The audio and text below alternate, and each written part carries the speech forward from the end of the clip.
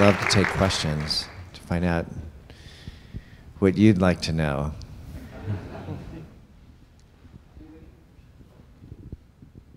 We've got mics in the audience, so please wait until the mics get to you before you ask the question. Right there,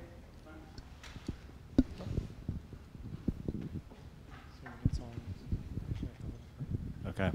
So you really showed tremendous compassion and vulnerability in this movie and shared intimate parts of your life that for me are unimaginable that I could ever do something like that.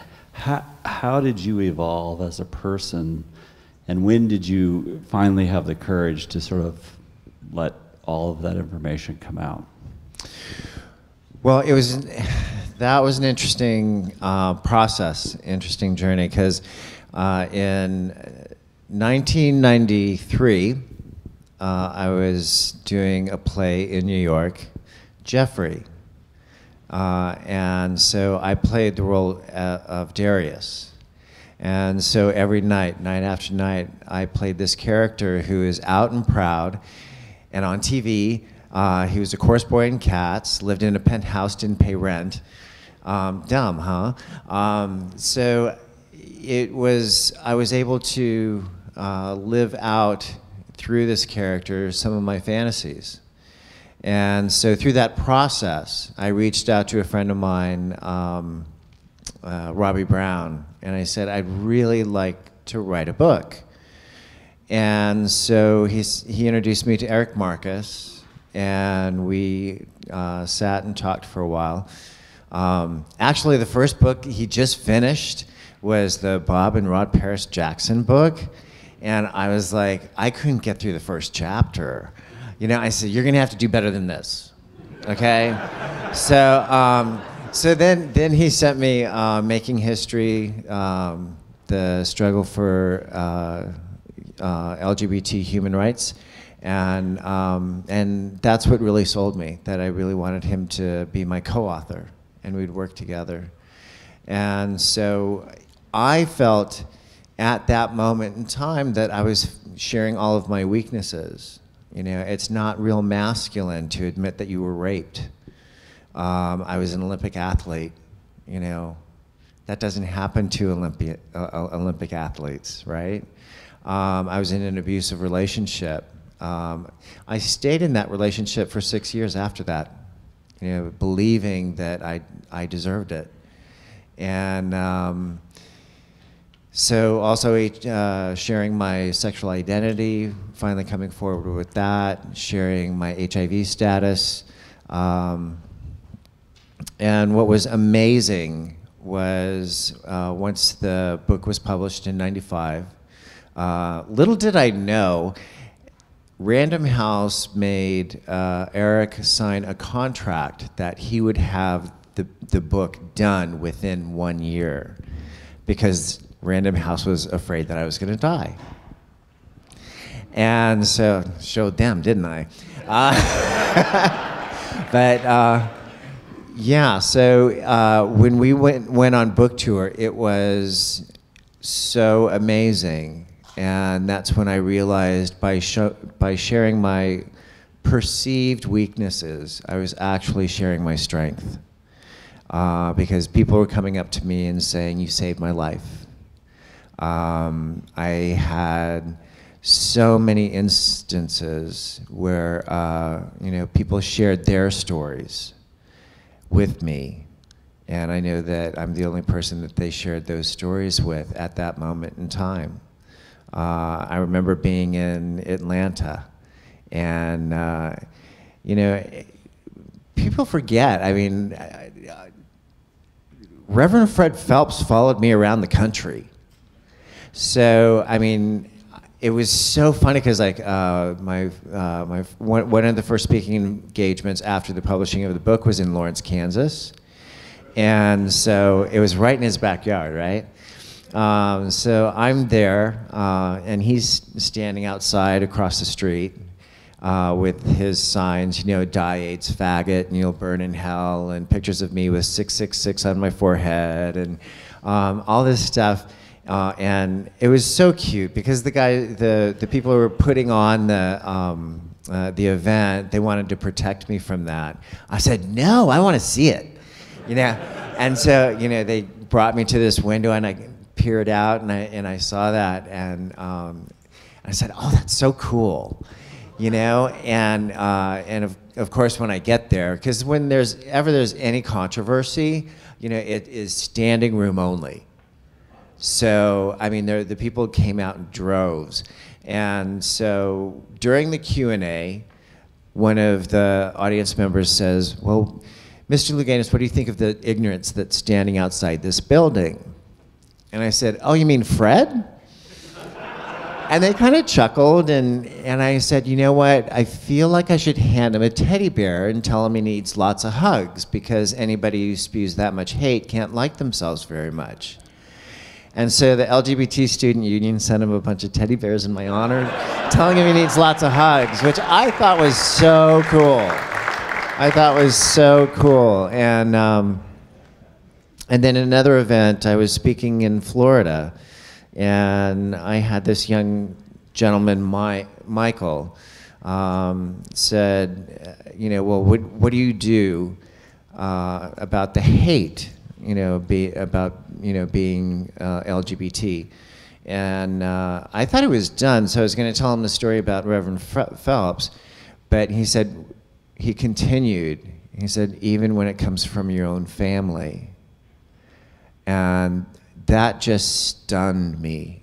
I just couldn't imagine. Um, and I said, first off, come here. and I went, I got down off the podium and gave him a hug. And, you know, I, I told him, I said, you know, you have to know that you're a good person. You know, you have to have, you know, faith in that, you know, and believe in yourself that you're a good person. Um, and, uh, yeah, so, uh, you know, I, I've had the good fortune to, to live longer than I thought I was going to live. Um, but, but also have some pretty amazing experiences through this process. Uh, I, I wasn't inducted into the San Diego, since I grew up in San Diego, um, I wasn't inducted into the San Diego Hall of Fame uh, for initially for reasons of homophobia, and then um, and then I you know and then I, I, would usually do that for my mom so that she could get all dressed up because she loved that you know and she was uh, she was so proud. Um, and so I enjoyed doing that for her you know not so much for myself. And she had pa- she passed in 04 and uh, and so uh, I was competing in dog agility at the time, and this this guy said, "Well, why aren't you in the San Diego Breitbard Hall of Fame?" I said, "Well, you know." I, I just did that for my mom, and she's no longer here. And my cousin read that uh, article, and so at my mom's memorial, we gave out these roses. Uh, I, I got these gold roses um, that were uh, had red enamel. Um, because my mother loved roses. And uh, so she sent that to me. And she said, I will, I will stand in for your mom because I want you to be inducted into the San Diego Hall of Fame. And, you know, that day I had no idea what I was going to say. I had no clue. And it was amazing, I mean, how the universe works. Um, that morning I got, uh, an email. Uh, well, actually, it was a Facebook message um, from this young boy. And he said, You're not going to remember this, but 15 years ago, you came to Salem, Oregon for your book signing. And I was the first one in line, and you signed all of my pictures, and I even had a picture of you and your deaf uh, Harlequin Great Dane, um, Ryan Luke. And so you signed Believe in Yourself, what you usually sign. And you also signed your name, and then you signed for Ryan Luke. And you drew a paw print. And he said, in that moment in time, I decided that I was not going to end my life that night. Uh, and so, you know, I've had the good fortune to, you know, to have these experiences because you never know what kind of impact you're going to have. You know, just a simple, you know, little act of kindness or giving somebody a little extra time. Um, you know, you, you never know what kind of impact that's going to have. Um, I have another story about uh, they were concerned about my safety on my book tour, so a lot of times I, you know, I had a, I hate to say bodyguard, but um, security. Uh, and uh, when I was in, in Atlanta, um, I there was a there was an officer, um, and she was like this Amazon woman, beautiful a- Amazon woman, um, and um, uh, you know, and she said, uh, "Mr. Louganis, can I have a word with you?" And so she pulled me to the side and she handed me a bullet. And she said, The significance of me handing you this bullet is you have done so much for me, and that I would take a bullet for you. And that was so unbelievable, you know. And I still have that bullet. I mean, it's in my um, my jewelry box, and I open it up, and it's right there. So yeah, it's amazing.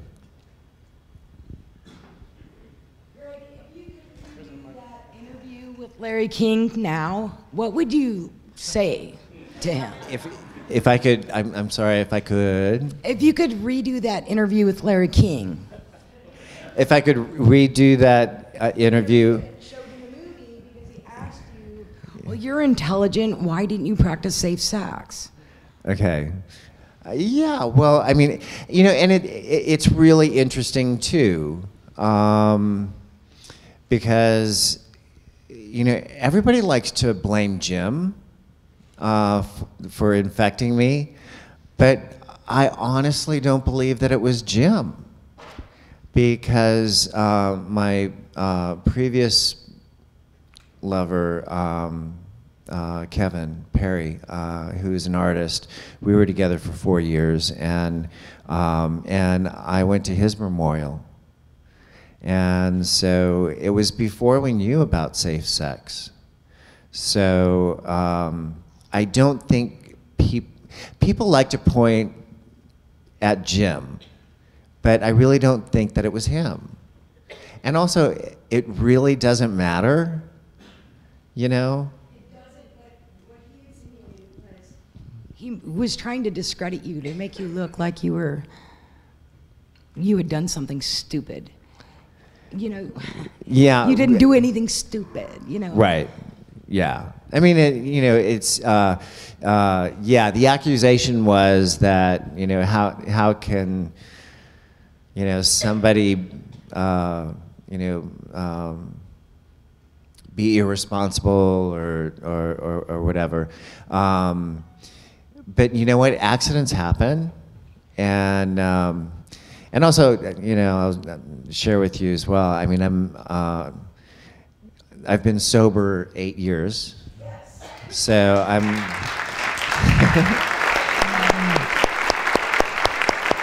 I'm, I'm very good friends with Bill W.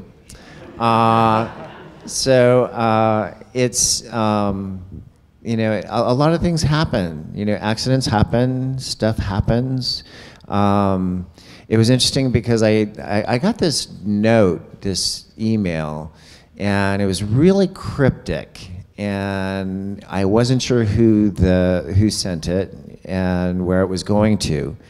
Um, it it was kind of untraceable, and so I took a chance and I answered it, and I said, if you need to talk to someone, because it it sounded rather distressful. Um, as it turned out, it was a young man who is, you know, in the entertainment industry, um, and uh, he seroconverted. And so um, he was reaching out to me.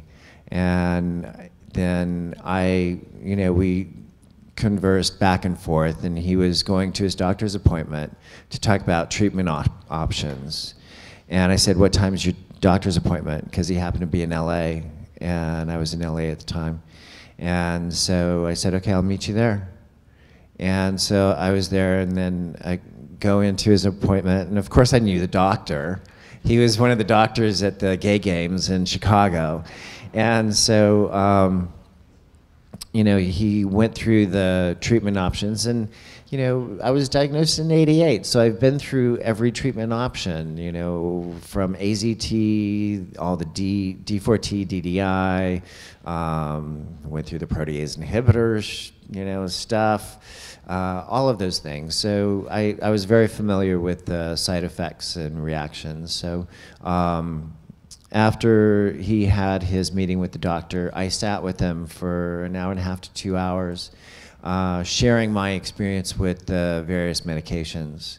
Um, you know, fortunately, the treatment treatments now are much more tolerable. So now I just take my, my meds in the morning and meds in the evening and go about the business of living.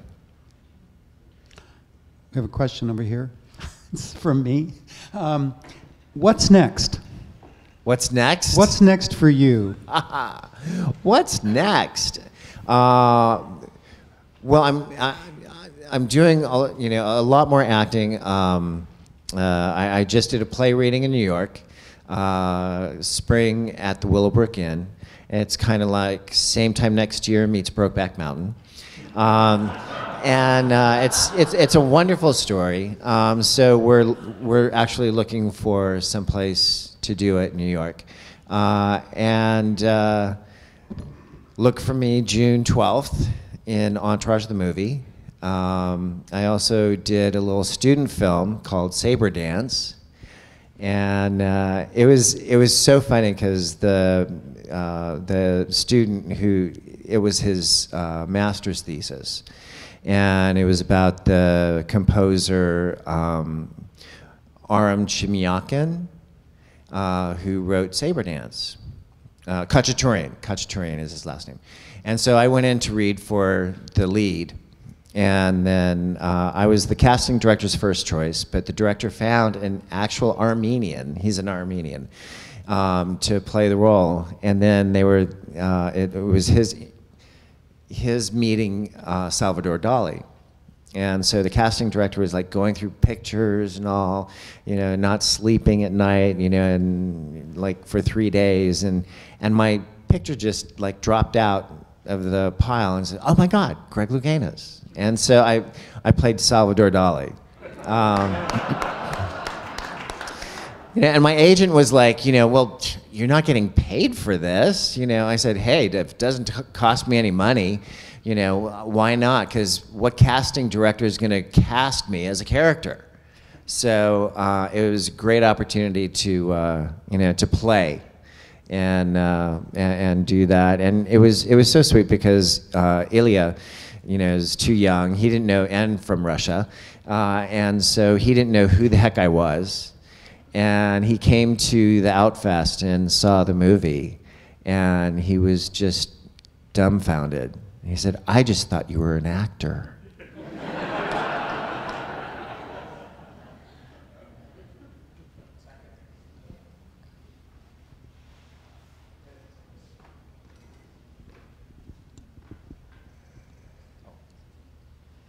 Greg, I want to thank you so much again for, I think many of us in this room just witnessed such incredible magical moments back in 84 and 88. And I want to thank you so very, very much for that. That brought back a lot for many of us.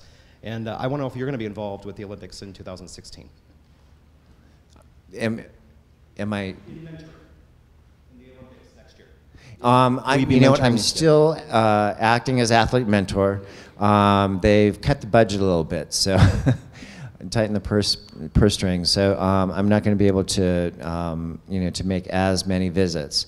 Um, uh, last year, uh, I was only able to make one appearance. They were late in getting me my contract, and by the time they got my contract up, then uh, it was you know, the year was halfway over and my calendar was filled, so uh, had trouble making that. But I was at the training camp in, um, they had a training camp in San Juan, Puerto Rico, and so it was there. Um, not the most ideal uh, atmosphere to, to do mentoring. Um, because some of the athletes, it was to choose synchro teams to help them choose synch- synchro teams, and uh, so it was a little competitive. Some of the athletes didn't have their coaches, but uh, I was just in uh, North Carolina, and I was supposed to be there for the um, the Athletes Advisory Council meeting representing the United States Olympian and Paralympian Association, which I'm one of the VPs on. And so I was standing in for another member who couldn't attend the, uh, the meeting. And it was in Charlotte, North Carolina. So I called Steve Foley and I said, you know what? You know, USOC is paying my way to North Carolina. Why don't I go to Raleigh? You know, go to Duke.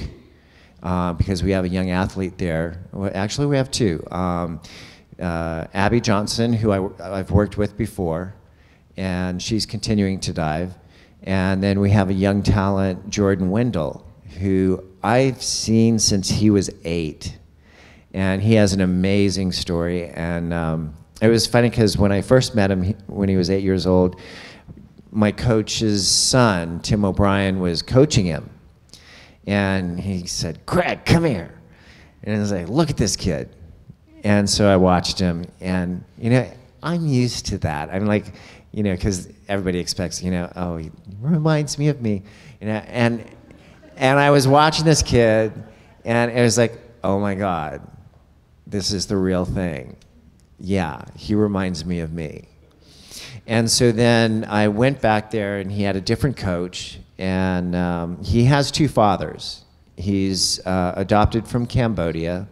Uh, his father served in the military, and um, adopted him. And so, uh, you know, I got to be friends with his his fathers, and uh, when I saw him when he was 12 with this other coach who actually was an old ex teammate of mine, and so. Um, I saw so much talent going to waste. I said, You've got to get this kid to the National Training Center, uh, to his dad's. And so I worked it out that he got to the National Training Center. And within one year, um, when he first got there, he could barely do a line up on 10 meter platform. And then after, uh, within the year, he had learned a front three and a half pike, back three and a half, reverse three and a half, inward three and a half, back two and a half with one and a half twist, and an arm stand twister. So it was com- a competitive senior list within one year. Um, he's now 16, so he'll be 17 next year. And uh, I actually told his, his coach, Nunzio, I said, don't rule out 2016. You know, he, there's definitely a possibility he could do it. So, um, you know, and he's a great kid. And it was so funny because like when he was eight years old, he he was he had he was drawing. He's he's artistic, um, loves to draw. And um, when he was eight years old, he was drawing, and then he looks up over at me. And of course, his you know favorite meal is sushi. So we were at a sushi bar, you know, a sushi place, and so. Um, you know, he's he's coloring, and he turns to me and he said, "Well, what do you do when they when the kids talk smack about you and i'm like talk smack about you I, you know I, I, didn't quite understand. And then he, he said well you know when they talk you know badly about you. I said you know what? I take that as a compliment because obviously they feel threatened by me. And they you know if they think of me as a threat they think of me as their competition so i think that's very flattering and so he goes, oh, okay. Um, and you know, he's really been able to practice some of the some of the things that I work with um, as far as mentoring. Uh, his biggest concern now is he said, well, when I, when I do interviews, I, I, I, do, I say a lot of ums. And I said, well, just take a breath. And then I started thinking about it, and I, uh, I, I actually called his dad afterwards. I said, you know what? Enroll him in a comedy improv class because this way, I mean, he could practice thinking on your feet and having fun and, you know, being funny and not be so self-conscious, you know, so, um, yeah, so I, you know, there's a lot of things that, that I bring that, uh, to the table that a lot of the coaches don't think about, you know, and really think about, speaking their language. Um, there's uh, that's the next book that I'm working on right now, is my journey in learning, because I also did a one-man show in New York, which was a lot of dialogue, and I was having difficulty getting off off book, and my director was yelling and screaming at me and to get off book. And so then what I learned was I would read the script into a recorder and listen to the the recording, and then I, as as an actor, you're a storyteller. So then I could imagine the stories that I was telling, and um, I didn't think about this, but uh, you know, each character is 14 different characters. It was Dan Butler's uh, one-man show. The only thing worse he could have told me, and so each character had a different color to me, you know, and I didn't know if it was based on the emotional state or if it was the cadence, or I didn't judge it. It just was. Well, the second night with the audience, I went up in the second scene, and I turned to the audience and I said, I'm sorry, I'm lost. And I started walking around the stage and I'm thinking, okay, the script's backstage, but I can't leave. I'm the only actor out here. I, I know that it's a small production, you know, in a small theater. There's uh, the stage manager's working lights, and so I can't call line, you know. And then and then I thought of the color, and that brought me back.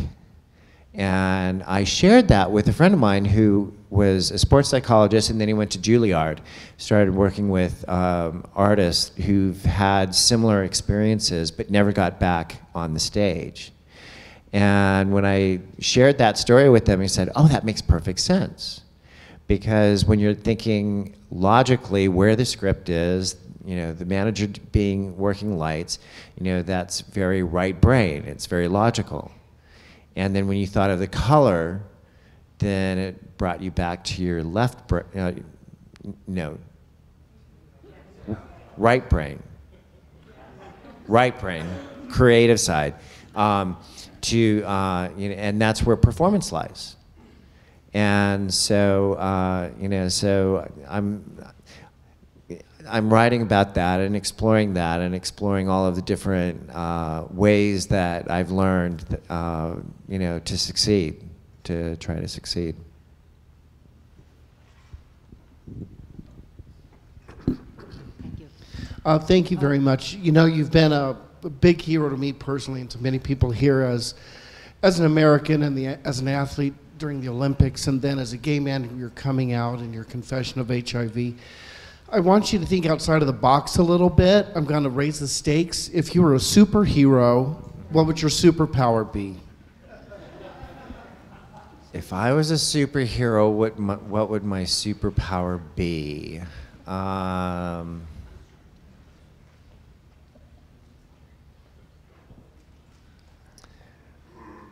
you know, I don't know. Um, I'd love to fly. Um, I, you know, yeah, uh, kinda. It's more like falling falling very fast and hitting the water really hard. Um, but um, you know what? I, you know, I, I think it would be the power of teleportation, because then I can be anywhere at any time. Um, you know, because one place my mind is is I, I have a friend who had a stroke, and I'd like you know, um, so my my prayers are with him and his partner. Uh, so you know, it's it's those moments in time that you know you want to be there for someone. Thank you, Greg. Uh, this has been amazing, to say the least. But a quick question to take you back when you were living with Dr. Samuel Lee. Was yeah. your family supportive of you and your athletic endeavors? Because obviously, I believe you were not out at that time. Um, no, I, I wasn't out at that time. I mean, I was also only 16. so, um, yeah, I mean, and, and a lot of times, I mean, when you're young, you don't put sexual identity to it. You know, you just feel different. Um, my parents were always supportive. Um, my dad, especially, got very interested once I started into diving. Um, I took care of my dad the last six weeks of his life. He, he passed in, in uh, 1991. And I took care of him the last six weeks of his life, and actually the last year of his life. Uh, he was diagnosed with cancer, and then it became a crusade for life and quality of life. And we'd had many important conversations about that, and uh, and and we talked about about that um, because I thought he disapproved of my dance and acrobatics because I thought he felt what the what the kids were saying about me that oh it's a it's a sissy thing to do um, faggot all that stuff. Um, and I felt that my father felt the same way. Little did I know when I had my per first performance on stage when I was three years old I didn't think he was there but he was working and he came in specifically for my performance and saw me from the back of the room and watched my performance um, so that was the first time that I learned about that. Uh, and, uh, you know, I, it was, he also didn't have parents. Um, he was raised by his grandmother. Uh, his, his parents died when he was quite young. So he didn't really have um, a lot of tools. Uh, and he did the best he could and um, you know, and it was interesting because I, I, I just spoke at World Wisdom Days uh, on Sunday, and it's all about my meditation uh, and finding forgiveness and the process and learning about oneself. Um, and getting to that place of forgiveness and letting go of the labels and about living uh, not living your story, but living your life. And um, it was, you know, it really has been a journey through that. And I learned so much in, in the care of my, taking care of my dad the last six weeks of his life. Initially, I did it because I wanted to be the good son. I wanted that label. And then in time, uh, I realized I did it out of love that I actually loved this man and he loved me because he spoke the truest words that he ever spoke to me. He said that I was doing something for him that he knows that he never could have done for me. You know, and it made me a little sad, but it made me a little proud too. You know, but it was honest and it was truth.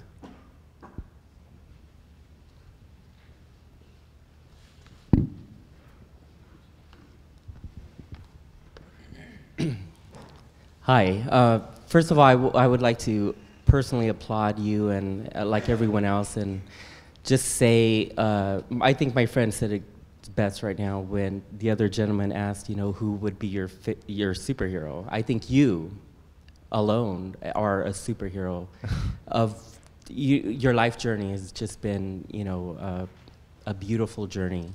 Um, I want to applaud you because number one, someone like you has definitely paved the way for someone like me who can confidently self-identify as a gay male um, and without shame acknowledge that I am too HIV positive. So, and living my life in a healthy way. Um, with all your accolades, um, being a multi, you know, Olympic gold medalist and uh, your your journey um, being an advocate for the LGBTQ community and a voice for HIV AIDS awareness, what would you say or consider as your greatest accomplishment out of all those and it, or a culmination of them?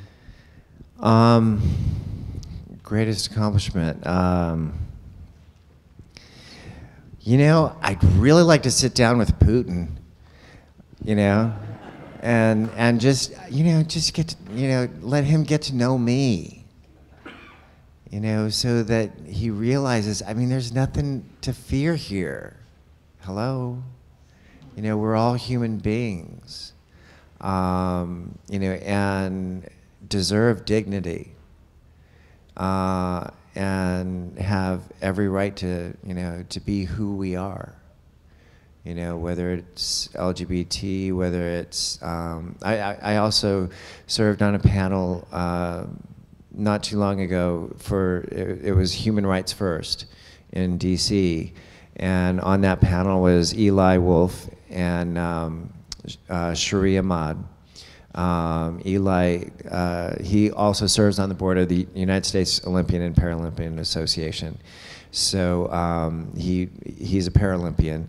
And then um, Sh- uh, Ahmad uh, is a Pakistani soccer player, uh, plays for Canada, uh, Team Canada. But, um, you know, and she's very active you know and um, the one thing that is i found very important uh, because i you know i also did a play in chicago uh, just say no.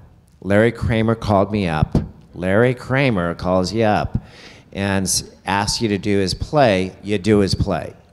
So um, he asked me to play Junior, and um, and so I said, sure, you know, I'll do your play. And then they said, oh, we're gonna have a photo shoot, and I said, okay, uh, to promote the uh, you know the play, this little play in Chicago.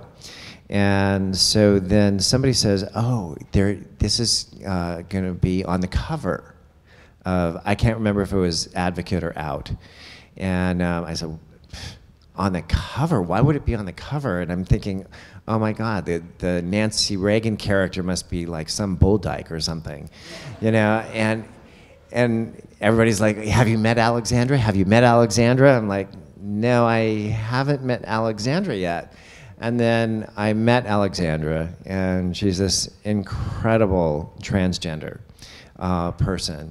And um, it was funny because we, you know, Larry, Larry and I had, you know, had a lot of fun with her. You know, she's very open about her um, her addiction and um, and also that she's married, and she's married to a woman. And of course, Larry is like, okay, wait, wait a minute. You, you know, you were with men before, and then you had the sex change, and then you got a sex change to be a lesbian, you know, and it's like, uh, it, it, you know, it was amazing, and um, to see Transparent, you know, that she's a part of, uh, do so well uh, and get recognized at the Golden Globes was really, really gratifying, you know, because I'm a gay man, I'm not a lesbian. I'm not a transgender. I'm not bi. So, you know, who am I to, you know, to speak on that? You know, and we're supposed to be a community.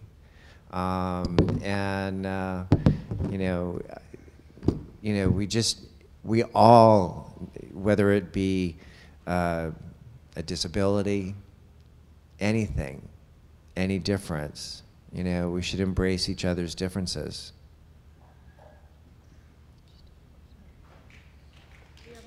One more question.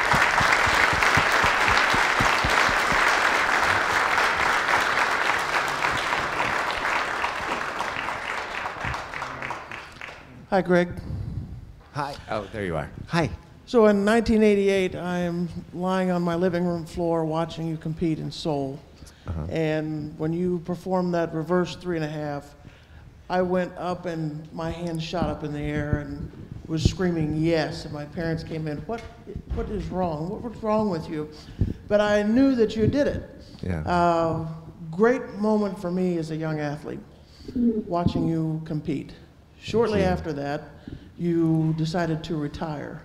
Yeah. Could you talk about the decision process and uh, what you went through inner, tor- inner turmoil to decide to retire? Well, um, the timeline of that, uh, you know, I was diagnosed six months prior to the Olympic Games being HIV positive.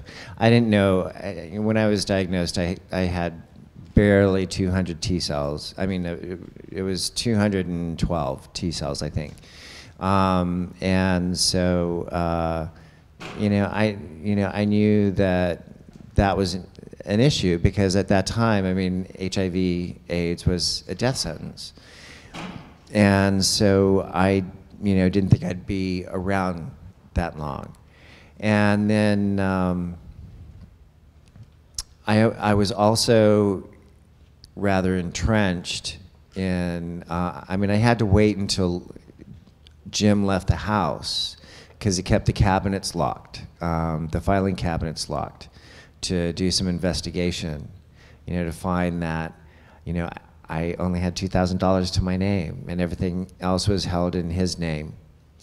Uh, and so, you know, I, I was in the midst of that, you know, trying to extricate myself from that. Um, left the house um, and was trying to get back into the house. And I asked my attorney, I said, How long is this going to take? And she said, Normally it takes about five years. So I said, You know what? I have to get on with my life. So, um, and I wanted a dog, and I wanted a Great Dane. And so uh, I got myself a little house in, in Venice and went on with my life. You know, I did Cinderella at Long Beach Civic Light Opera. Um, you know, I did a lot of things. Uh, you know, I I was friends with Rosie O'Donnell, and so you know sometimes we'd hang out together because she was going through you know some similar situation at the time, and so we would be we you know we'd commiserate together.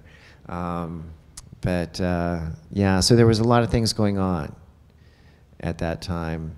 Um, I think I, re- I retired at the right time. I think it was the right thing to do. I mean, I did have second thoughts uh, in 1990.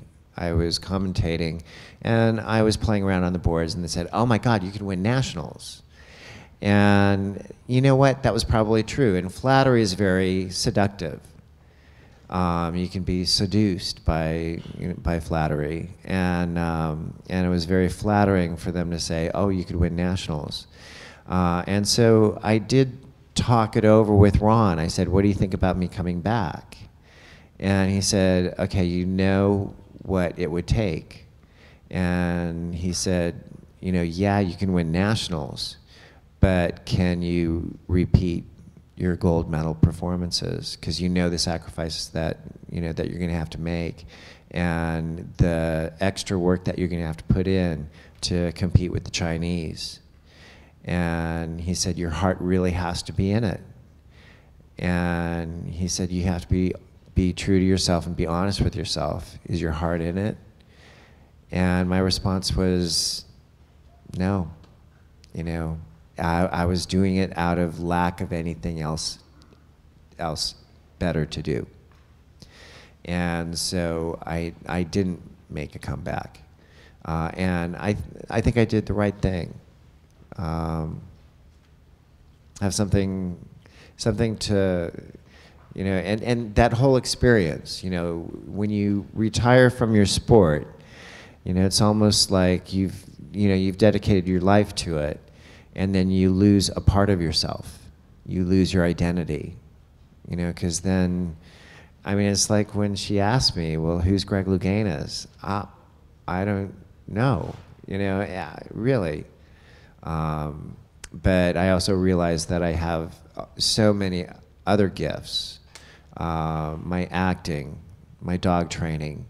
Uh, I have other things that I can do uh, um, and that I, that I love, that I enjoy, and that I have passion for.